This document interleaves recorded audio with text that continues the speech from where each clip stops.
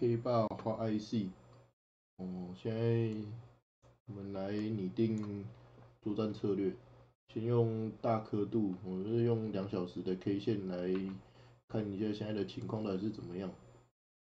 哦，我们用这只爆量的 K 线来翻一下亚当，看看现在的价格是不是走到了这一次走势的满足区。这样看一下，哎，差不多哎。这样子一翻，它其实已经到了这边，这里上不去了。哦，就是这里翻上来，满足区到了，也是大的，这也是压力嘛，这里上不去，上一次上不去的地方，所以这边其实姑且算它有一个边界，这里画一条线，然后进小刻度看一下情况。哦，它到这边收了，然后这里有一个压力支撑的互换。所以这里也有一个边界，这条线把它界定出来。那接下来我们来拟定一下作战策略。哦，它到这个地方又撞，所以剧本有几个。如果说是要做假突破的话，有可能就是会在这一条线，但是它有前提，就是它要先破了。哦，它现在可能在。撞这边，它会回来，那也有可能会冲上来，然后再掉下来。那这个时候，我就可以知道我要防守什么位置。所以他下一次靠近这边的时候，就是我开空单空他的时候，这边就是会有一个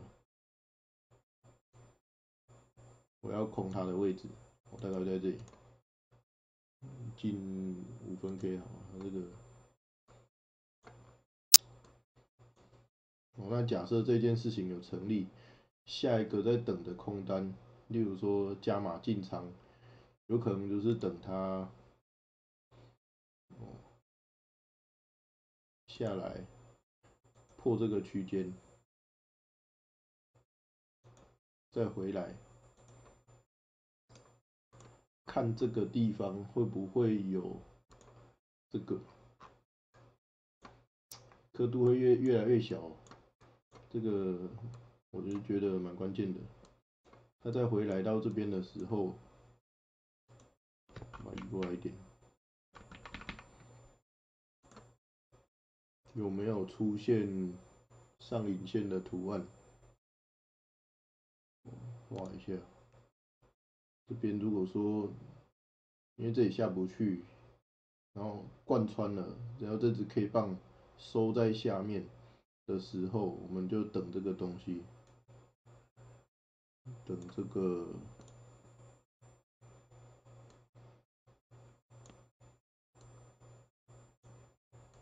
这个如果一出现的隔壁就空它，高几率会下降。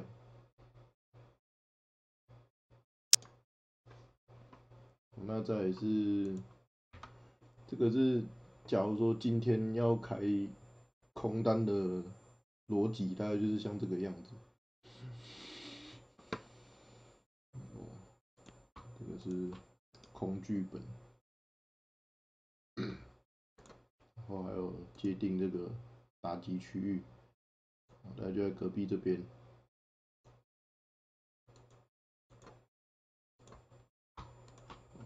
是今天如果要空的剧本，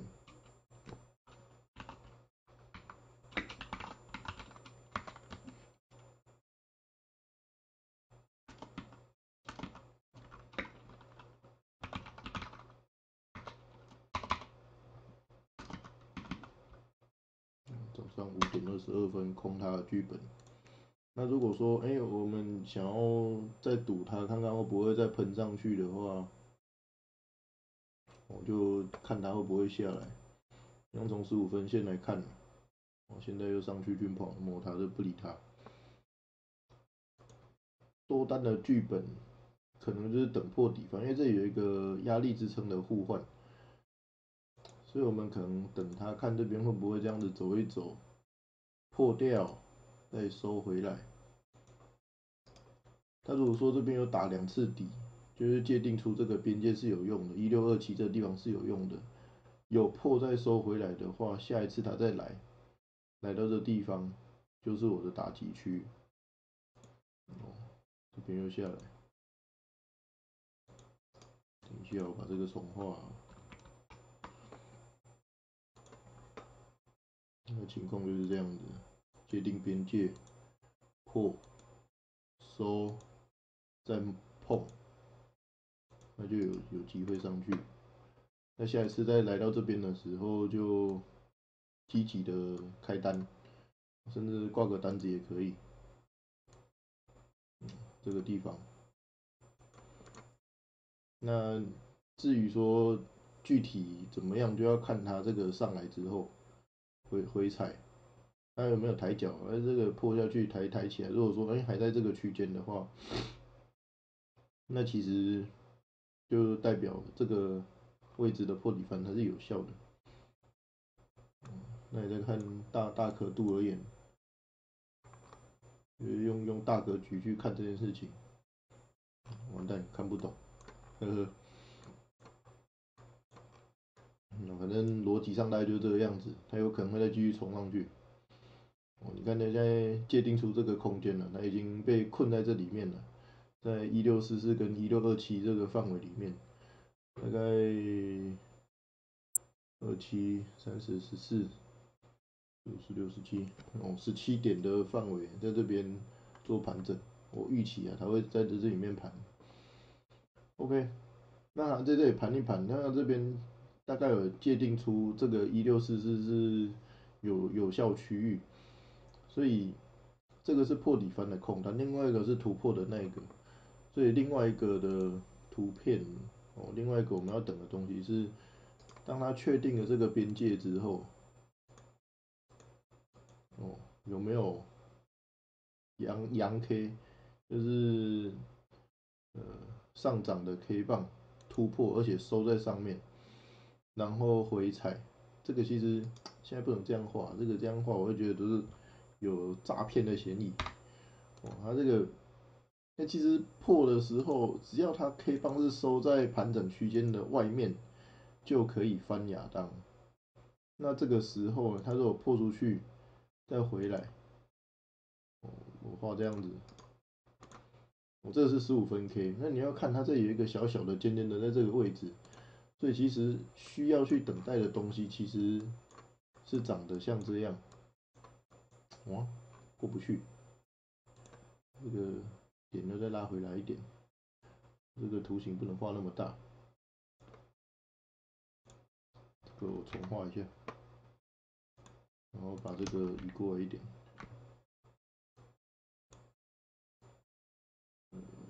大地区，这个破地方我重画，状态下去，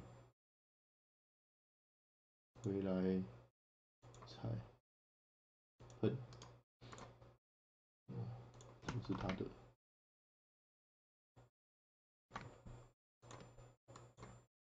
然后这个是上上涨的剧本，这是突破的时候，哦，它关键的在这边是要是要等一个破出去之后，它会有一个引线收在下面。哦，它这个的重点就表示说，我确定它现在的压力支撑已经互换了，来像这个样子的东西又出现在这边，它这个有可能很小。我近几天的心得就是，这个东西它可能真的很小，小在可能要从三十秒或者是十秒的 K 线去看，你才可以发现它的踪迹。这是一个。很很微妙的东西，所以目前我今天的上涨跟下跌等的就是这这这两个，这个是做多的剧本，把它收起来。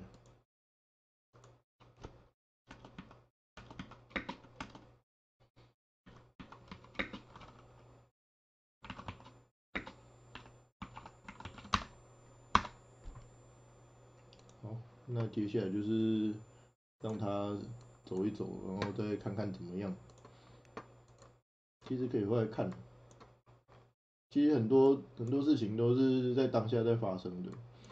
哦，例如说，我们现虽然说现在是一分 K 哦，哦，它这里有一个底，这根破了，所以亚当他就走到这边，这边就是满足区，同时也是哦这边下不去的地方，所以满足了之后，这边就可以开个多单，他就打上来。那打上来翻的话。我觉得我们可以，这个先这样子。